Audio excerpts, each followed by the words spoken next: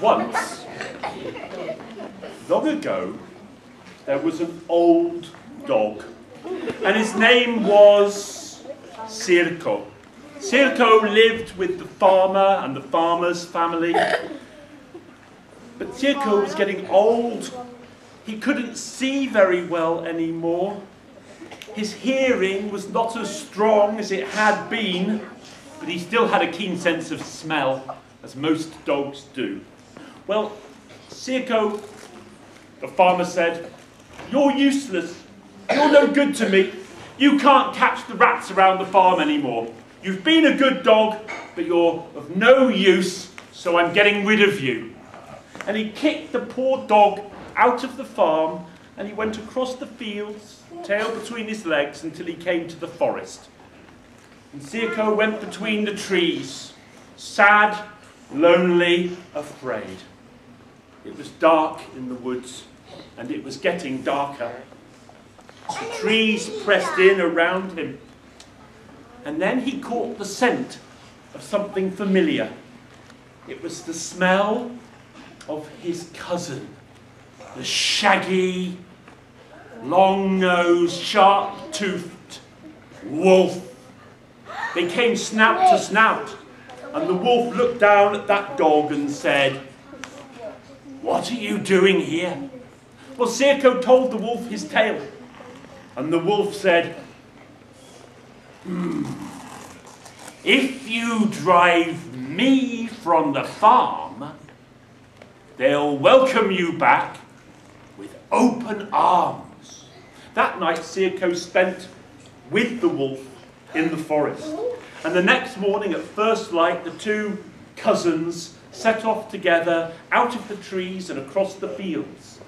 And there, at first light, they came to the farmhouse, and the dog Sirko hid behind the wall, and the old wolf leapt over the gate and up to the door of the farmhouse, where the farmer's wife had left the little baby to take the morning air.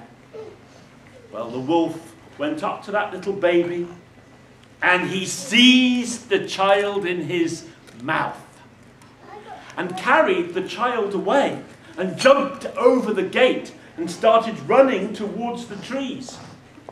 Sirko knew what to do. Sirko began to bark as loud as an old dog can. Let me hear it And he went chasing that wolf. He went chasing that wolf across the fields, and the farmer and his wife came running out of the house. Oh, our child is gone. Our child has been taken by the wolf. Look, Sirko. And they ran out of the gate and they ran across the fields, but they were too slow. And now Sirko the dog had jumped on the wolf, and the two beasts seemed to be fighting, tooth and claw. There was a flurry of dust, tails, and teeth. And then, oh, the wolf yelping towards the trees. And Sirko, their old dog, carrying the baby safely back towards them. Why, the farmer's wife, she took her baby in her arms. Oh, my child is safe. And the farmer looked down at Sirko and said, Oh, Sirko, I am sorry. Why I got rid of you? You are a hero. You are brave.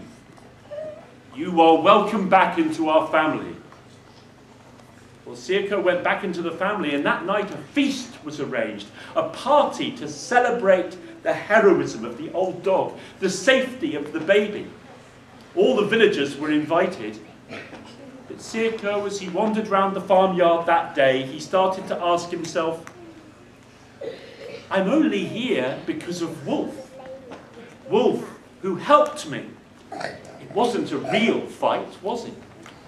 Oh, I should invite Wolf as a guest of honour at the feast. Is that a good idea? He set off across the fields and into the trees. He sought out Cousin Wolf and then could sniff the scent. He came to Wolf and said, Come, be my guest of honour. And he led his friend as the evening fell across the fields to the farmyard and into the great stone barn where the feast would happen. Well, the barn was empty. There was the long table. Dog and wolf hid under the table, and now the villagers arrived. And the farmer and his wife spread the table with good food, sausage, borscht, and porridge. And all of the villagers sat down to eat and celebrate. And as they ate, they drank vodka. Why, there was a tremendous atmosphere. But now, Sirko went out from under the table and he fetched food for Wolf, hungry, lean Wolf. He brought sausage, bread, borscht, and porridge under the table, and the wolf ate them greedily, for the wolf had been long without food. Sirko and the wolf shared the feast. And now the people, having drunk their vodka, began to sing a Ukrainian song. But that's where this story comes from, Ukraine.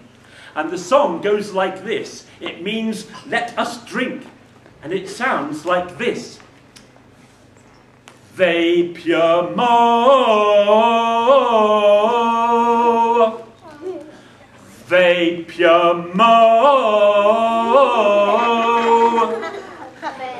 Vapor mo. Let me hear all the students and especially the staff as loud as you can. Vapor mo. What a feast! But the wolf stopped eating. I've had enough, my belly's full. It is my turn, said the wolf. Now I will sing. No, said Sirko, do not sin, cousin wolf. The people will kill you. Let me bring you more meat. And Sirko went from under the table and fetched more sausage, bread, borscht, and porridge. And the wolf ate and ate. But The people continued to eat and drink as well. And they said to the farmer, Look at your dog, your dog is greedy. You should beat your dog. Oh, no, said the farmer. This dog is a hero. He saved my child. Let us drink again. And they sang louder than before. Take your mo. Vape your mo. I've had enough, said the wolf. My belly is stretching, fit to burst. It is my turn. Now I will sing. And the wolf turned up his nose under the table so his snout was high, and he began to sing as a wolf sings. As he sang, the people stopped. A wolf here in the barn? But the wolf continued to sing. The people picked up their meat knives. Towards the long table.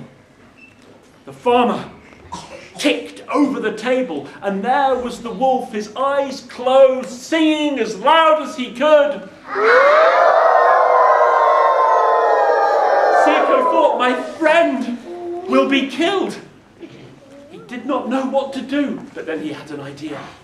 He took the wolf's tail between his teeth and he bit down as hard as he could. Cried the wolf. And the wolf's eyes popped open and looked around. He saw he was surrounded by knives. The wolf ran between the people. The people fell and stumbled.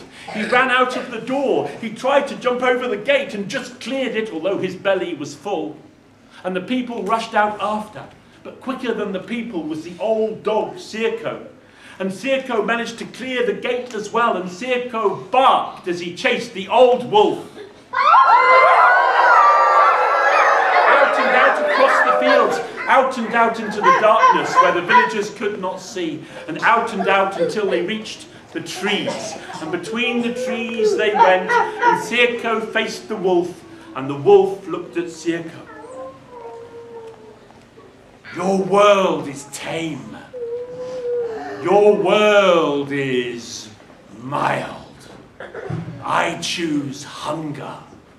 I choose wild. Sirko knew that he would never see Wolf again as he looked back across the fields and returned to the barn where he was greeted once more as a hero. You saved us, Sirko, not once, but twice. You are a true hero, and so it was. that Sirko lived in the heart of that family, at the heart of that community, better loved than any animal before or since. But now and again he would go out when the moon was full and listen, and although his hearing was not what it used to be, he could make out the distant sound of his friend, his true friend, the wild wolf, singing to the moon.